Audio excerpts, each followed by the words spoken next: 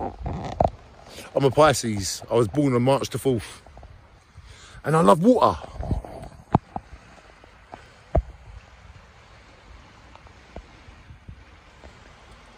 This is my new hotel in Belgium and I love water.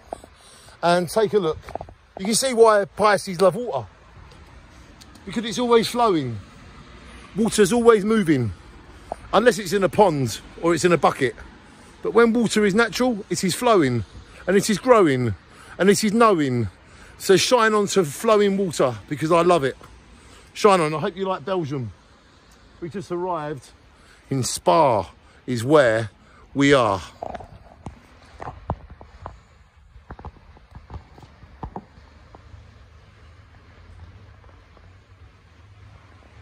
That beautiful mountain up there, look.